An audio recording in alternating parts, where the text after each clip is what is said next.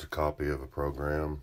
We put on a number of plays, and some people came in to help us with it.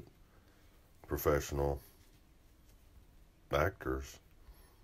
So just look through this. As I said, this was we were lucky to have this.